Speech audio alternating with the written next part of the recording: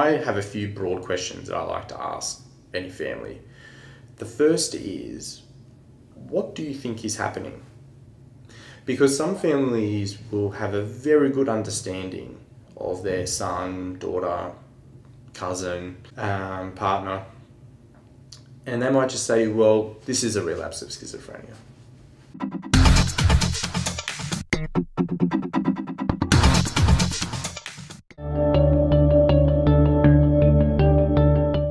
So when obtaining collateral from a family, really my first step is I, I look at my history and I think what are the gaps? So what can't the what can't the client give me?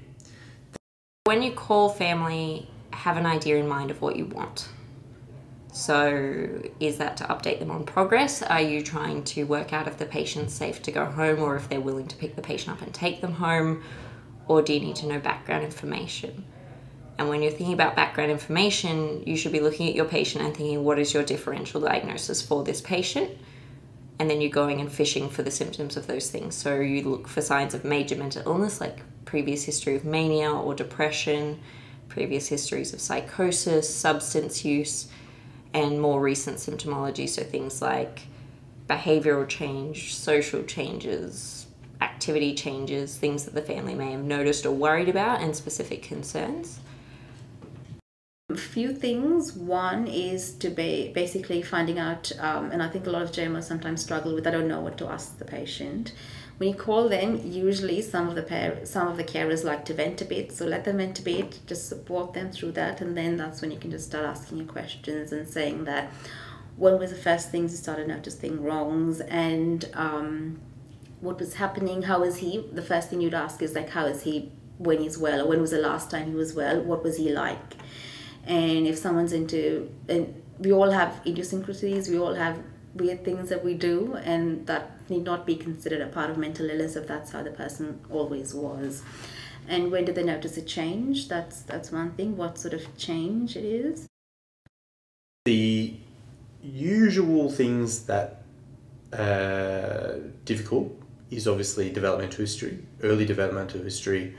None of us will have a recollection of ourselves and also what has happened, say, in the hours and days before presentation.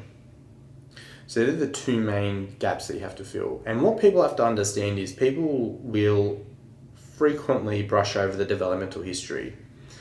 But people's pre-morbid personality traits, despite whatever illness occurs after that, will inform their current presentation. So it's very helpful to get an understanding of what a person's temperament and premorbid personality is prior to the onset of illness because that will help with your formulation. What were they like before they became unwell? You know, have they been taking their medications? What's their impression? Have there been any stressors recently? Any drug and alcohol use? Anything irrational or bizarre or out of the ordinary that you've noticed? Um, but uh, I, a collateral history is is just so fundamental and so important, and um, I think that's a really good opportunity to start building relationships with the family members of the patient. Uh, so it's absolutely vital. So that would be my advice: go gently, you know, and try and build that relationship with them.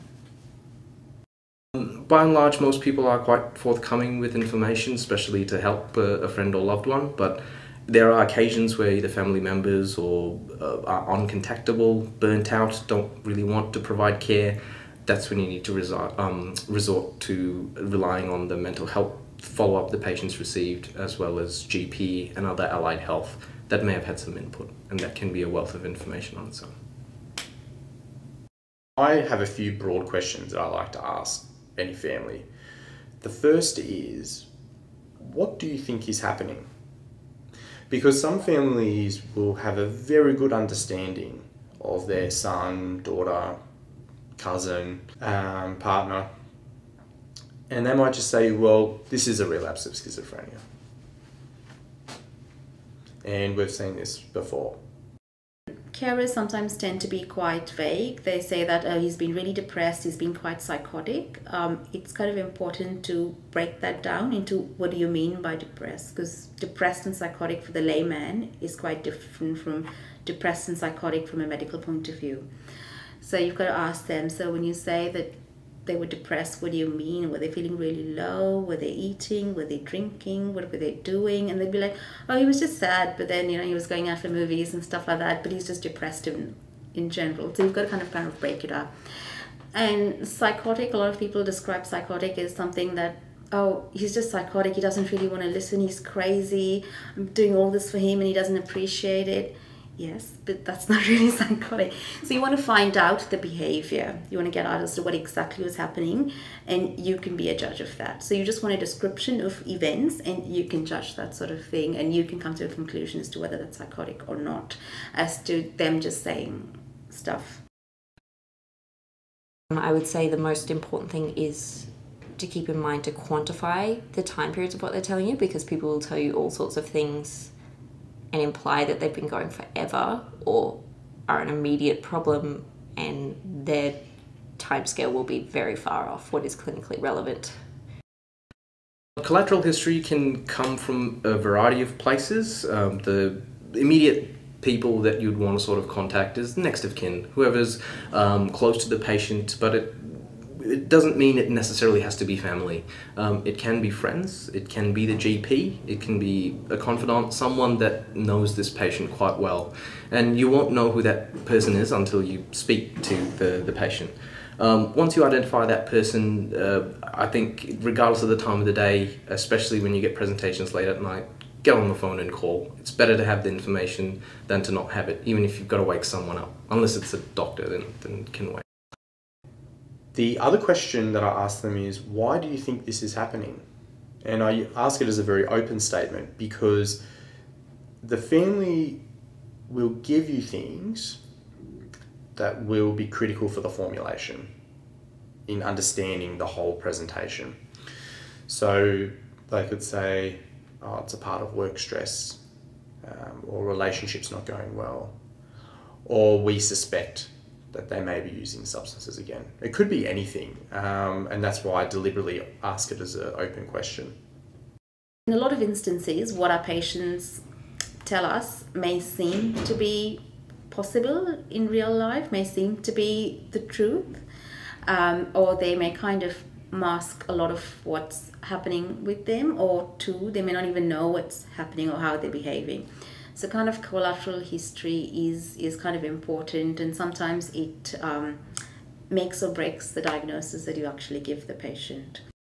The other bit of advice I would give in terms of getting collateral is um, try and see who the people that have had immediate contact with the patient before coming in. Um, so sometimes a GP, a psychologist, someone who's had something to do with the patient's mental health and care of their mental health before coming into hospital can be quite a wealth of information, especially in that presenting complaint um, type arena. Then, to help with risk assessment, I ask, what are your concerns? Again, as a very open question. They go through a lot of stress, and I think it's always good to just check with them are you doing all right? Do you have any sort of supports? Um, is there anything that we can do for you? And stuff like that. And um, a lot of times when we're speaking to family, there is this um, conflict between the team's view and the family's view. The family are like, oh no, you can't discharge them. Um, especially with personality disorders, you can't discharge them. She's saying this or he's saying this. And um, that's when we've got to hold that frustration. There's no need to um, disagree with them, say, look, I understand where you're coming from. That's completely reasonable point of view to have as a carer, as a mother, as a parent. Um, but then you've got to say, and, and the best defense is like, look, we've got to fall back to a mental health act. If, if we can't detain them under the mental health act, and if she doesn't want to stay, we've got no grounds to hold them. And instead of taking that and you're just like use the mental health act to your advantage as well. Like, um, and, and that's true. If you can't detain them under the act and they don't want to stay, you, you we, we're not law enforcement or we can't just keep people in indefinitely. It's not our job. I think it's really important to give the family members an opportunity to, often it's to vent. uh, an opportunity to um, articulate all of their concerns because they're probably very scared by the situation. Uh, there's a lot of there's a lot of emotions that come up uh, when you've got a, a relative in hospital, um, and so by gaining that collaborative history, there's a lot of validation that goes through that um, as well. That's important. I understand that this can be really hard for you. I hear that you're stressed. I hear that um, things haven't been easy recently.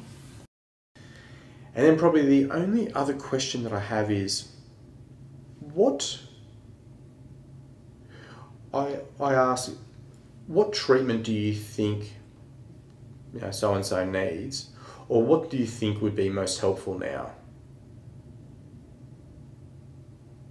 And I keep it open because the family might say, well, actually, we think the core issue is alcohol use, or we think the core issue is managing stress. So that helps you tailor treatment quite quickly.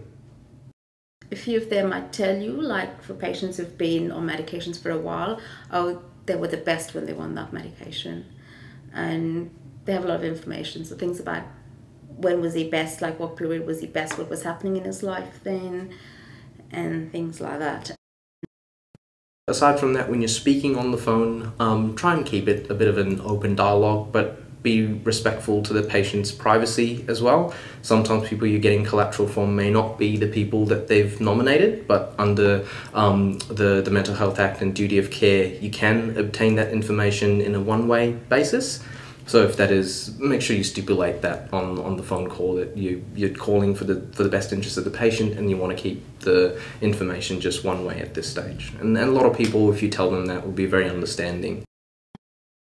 It's important to make sure that you're you're getting your corroborative history with the consent of the patient, um, and or if they haven't given their consent, that you um, are just gaining history rather than um, telling them information about the patient.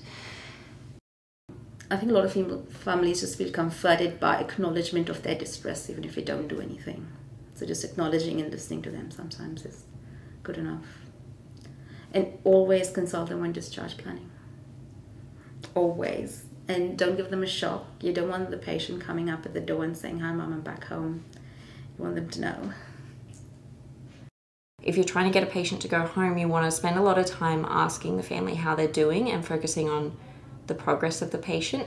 And if that patient is ready to go home and you're focusing on the good things, that's a good place to start because then the family won't be taken off guard or become defensive when you start talking about discharge planning. As well as if they've got a chronic issue, it's good to highlight that to the family, you know, whether or not an acute inpatient unit is the appropriate place to treat that chronic issue. And talking about follow up and things that the patient will get if that's going to be happening. Because they find that you know you don't want to put these people off. You don't want them to be defensive or you know avoiding what you're saying or panicking on the other side of the phone. You want to do your best to give them a clear picture of why you're doing what you're doing